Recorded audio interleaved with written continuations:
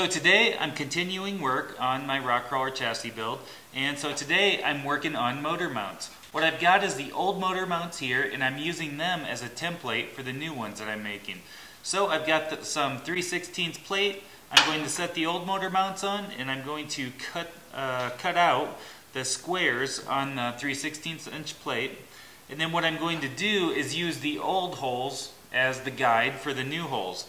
And then so what I'll start off with is a nice flat piece of new plate that I'm going to end up welding um, my chassis tube to.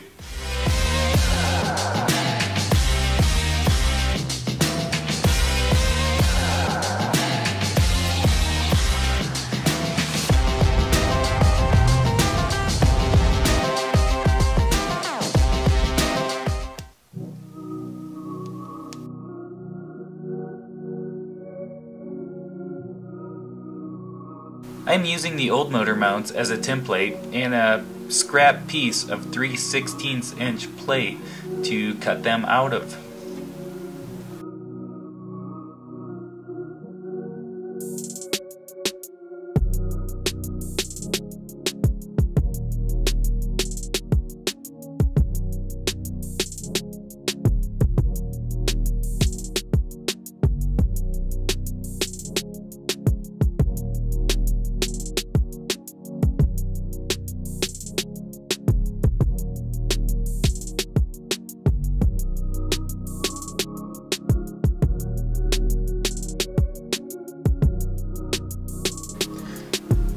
Smaller cuts like this, I like to just use a cutoff wheel. It makes quick work of cutting through plate like this, and it's easier than getting out my plasma cutter.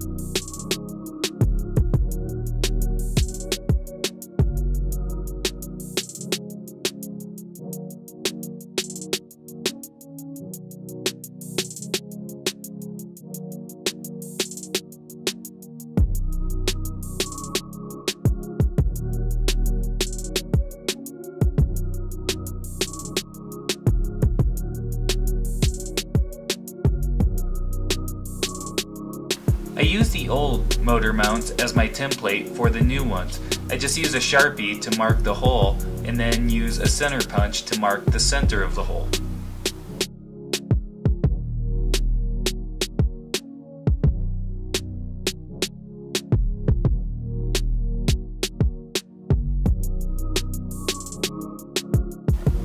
I'm just using a clamp in the side of my table as a makeshift drill press.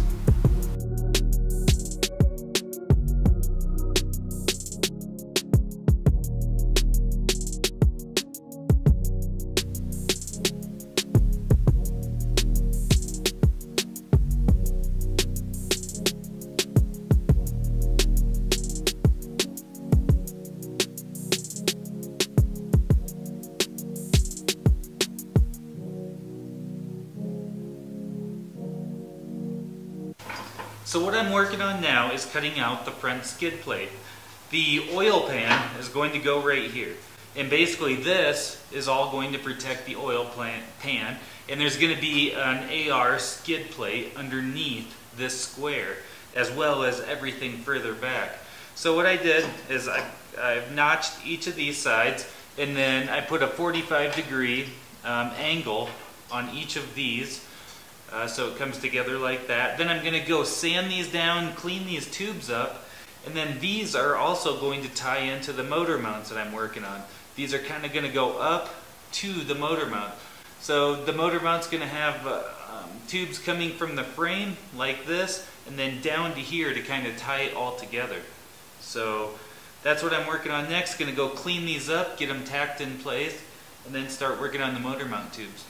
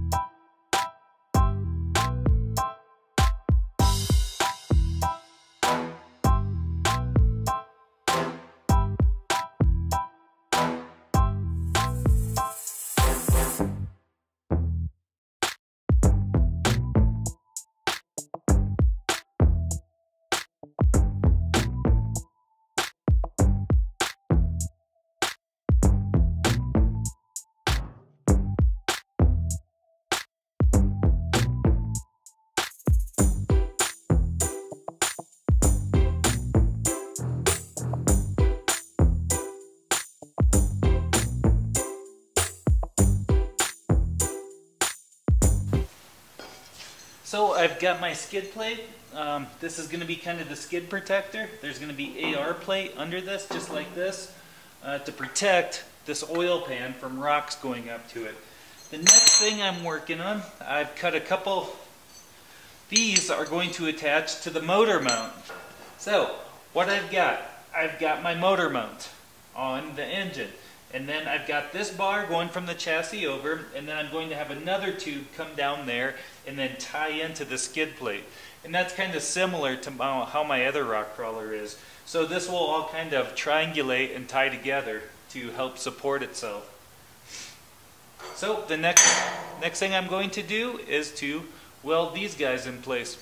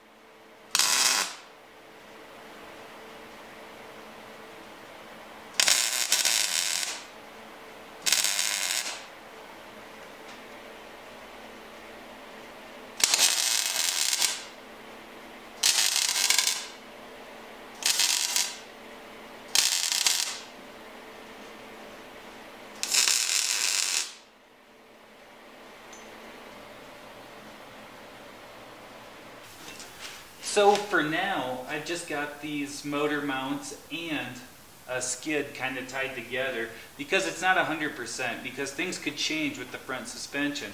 Have to imagine on this axle that the truss down there is going to be on top of it. So the top of the truss is going to be right around here and then I'm also going to have link mounts on top of that. And look at how fast this, this gap right here starts to fill up. So other things that I have to consider.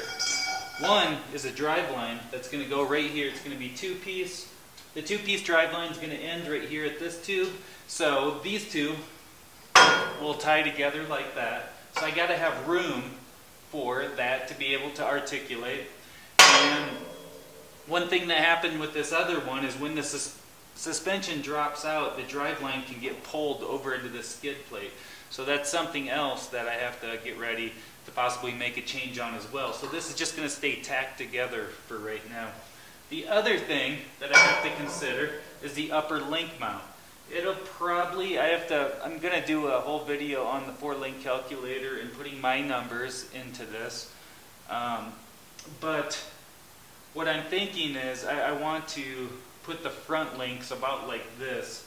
And so I've got to have room for that as well. Um, so I have to keep, I wanted to keep this space as open as I could just for those items so that I don't have any conflicts right there. Um, I can't guarantee I won't. Uh, the drive line's the biggest thing that I could see right now. And and it'll probably be just fine. It'll probably clear, but you know, sometimes you have to shave a little bit off or clearance an area, so it's not 100% right now. So that's why my thought was behind taking these up like that. I just wanted to give myself that room right there uh, for the drive line and for the link mounts, just to have more room the better.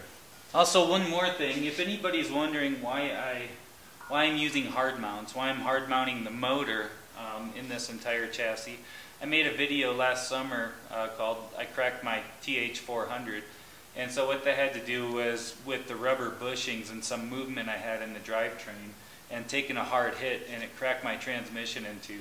Since, since then I've hard mounted the entire drivetrain and everything's been good. So That's why this one I'm just going straight hard mount and not even messing around with any rubber bushings. I have also been working on filling in some of the filler tubes, some of the support tubes.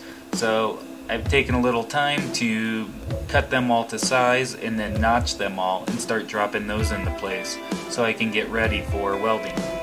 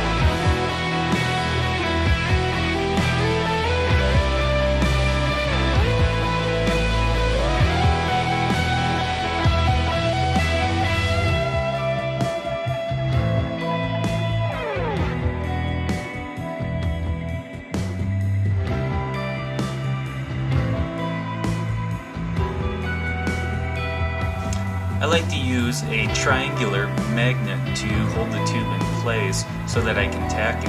And then I double check the top of it so that it stays level from tube to tube with just a basic level.